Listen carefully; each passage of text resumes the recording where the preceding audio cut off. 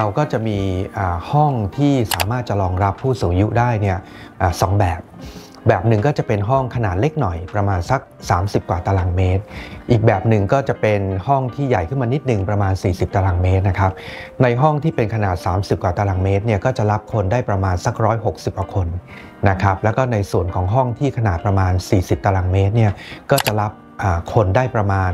เกือบ 300 คนนะครับ อันนี้ก็เป็นภาพรวมทั้งหมด แต่ไม่ว่าจะเป็นห้องขนาดใหญ่ห้องขนาดเล็กนะครับ เราก็พยายามปรับสภาพ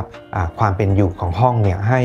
ผู้สูงอายุเนี่ยสามารถอยู่กับห้องนั้นด้วยความปลอดภัยนะครับ มีระบบต่างๆ ในการที่จะทำให้ผู้สูงอายุเนี่ยอยู่แล้วรู้สึกว่าปลอดภัยอุ่นใจ แล้วก็เข้ากับสภาพแวดล้อมของ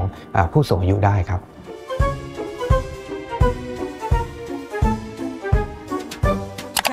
มาลีศรีวิเชียนนะคะ อายุ 80 อดีตอาจารย์เรียนเตรียมอุดม สอนภาษาอังกฤษเตรียมอุดมพยาไทยนะคะ แล้วก็สถานภาพคือสมรสแล้วไม่มีบุตรค่ะ ชื่อประธานพรทวีโภคค่ะ ยังไม่ได้แต่งงาน แล้วก็คงไม่มีทางแล้ว อายุ 83 ปีทำงานอยู่กระทรวงต่างประเทศ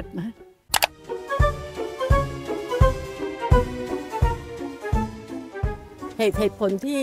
มาอยู่ที่สว่างคณิเวศนะคะเขาเพราะว่าอันที่หนึ่งความความที่เราไม่มีบุตรนะคะเพราะนั้นพอเราก็วางแผนตั้งแต่ตอนอายุประมาณ 50 ต้นๆว่าถ้าถึงเวลาแล้วเราจะไปที่ไหน แล้วผลปรากฏว่าก็ลองไปซื้อคอนโดทั่วไปอยู่ ปรากฏว่ามันไม่ใช่สำหรับวิถีชีวิตของคนที่อายุมากขึ้นแล้วอยู่อย่างนั้นไม่ได้ เจอข่าวว่าที่นี่มีก็เลยมาเกิดพอมาวันแรกคือจองวันแรกเลย เหตุผลเพราะว่าเชื่อมั่นในองค์กรค่ะ รู้ว่าที่นี่เป็นของสภากาชาตินั้นเราจะเชื่อมั่นในตัวในองค์กร สถานที่อันนี้นะคะ จะเป็นสถานที่ที่เราจะมีเพื่อนฝูงที่รุ่นราวคราวเดียวกัน พูดภาษาเดียวกัน รู้เรื่อง แล้วก็สถานที่กว้างตั้งยีบสามไร่ เพราะฉะนั้นเอาอันนี้แหละเป็นสถานที่ ที่เราจะอยู่จน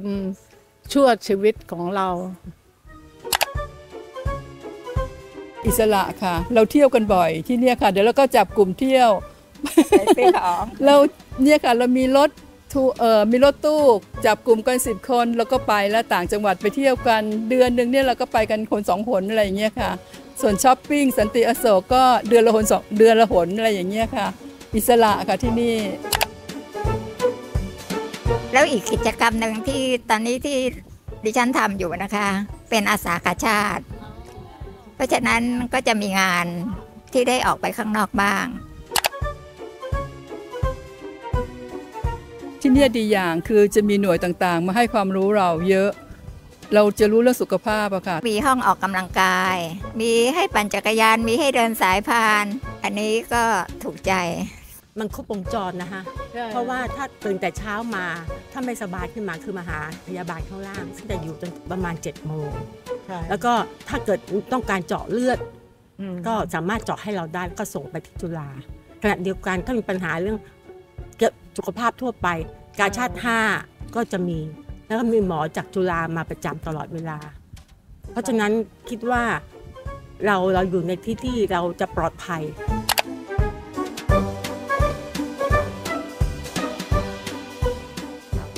สำหรับพี่คือถ้าคิดว่าจะไม่มีบุตรนะคะหนึ่งวางแผนการเงินต้องเริ่มตั้งแต่ตอนนี้เลยนะคะค่อยๆเก็บไป ถ้าเราเริ่มตอนที่หลังจากเกษียณแล้วมันสายไป เพราะนั้นชีวิตจะรู้เลยว่าชีวิตของของคนมีอายุนะคะ ถ้าไม่มีเงินน่ะแย่มาก เพราะเราเนี่ยเวลาเจ็บป่วยเนี่ยเราสามารถที่จะใช้เงินของเราได้ โดยไม่ต้องคิดมากคิดอะไร นี่คือปัญหาที่สุดแล้วก็ที่สองคือหาที่อยู่อาศัยอยู่ที่นี่ชอบไหม คะมีความสุขไหมคะโอ้ก็นึกว่านี่เป็นที่สุดท้ายของเรา แล้วเนี่ยพี่พี่เรียกว่าอะไรมั้ยบ้านของเรานั่นคำว่าเราคำว่าพอพูดคำว่าบ้านเนี่ยมันมากกว่าคำว่า house เพราะนั้นพอพูดคำว่าบ้านคือให้รู้เลยว่ารักและหวงแหน